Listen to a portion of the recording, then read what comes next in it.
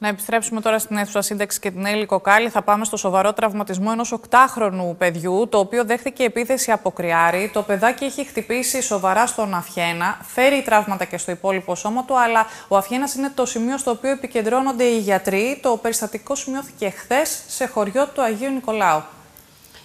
Εξαιρετικά δύσκολες στιγμές περνάει η οικογένεια του οκτάχρονου αγοριού το οποίο χτυπήθηκε από κρυάρι, ένα περιστατικό που σοκάρει ε, καθώς πρόκειται για ένα ε, μικρό παιδάκι το οποίο ε, δυστυχώς την ώρα κατά την οποία βρισκόταν μαζί με τους γονείς του στο χώρο όπου έχουν οικώσει τα ζώα ε, και προσπάθησε να βοηθήσει στο να ταΐσουν οι γονείς πιο γρήγορα τα οικόσιτα ζώα.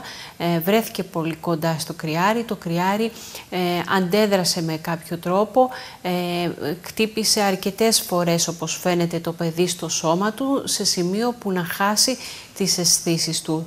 Οι γονείς αντιλήφθηκαν από την πρώτη στιγμή ότι πρόκειται για σοβαρό τραυματισμό.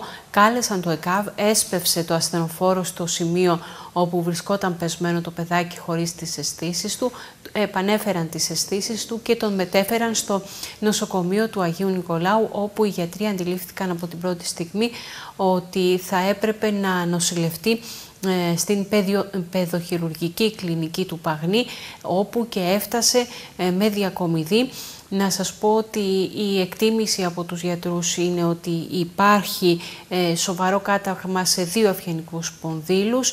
Προσπαθούν αυτή τη στιγμή με συντηρητικό τρόπο να δουν εάν μπορεί να αποκατασταθεί αυτός ο τραυματισμός συντηρητικά ε, προκειμένου να αποφευχθεί το χειρουργείο. Όμως είναι και αυτό το ενδεχόμενο ε, ανοιχτό προς το παρόν για τους γιατρούς, οι οποίοι παρακολουθούν πολύ στενά την εξέλιξη της υγείας του οκτάχρονου αγοριού και βεβαίως οι γονείς του βρίσκονται συνεχώς στο πλευρό του χωρίς να μπορούν να πιστέψουν πώς από τη μια στιγμή στην άλλη έγινε αυτό το σοβαρό περιστατικό το οποίο κόστησε πάρα πολύ σοβαρά ε, στον οκτάχρονο ο οποίος ε, δίνει τη δική του μάχη για να ξεπεράσει τις συνέπειες αυτού του βαρύτατου τραυματισμού.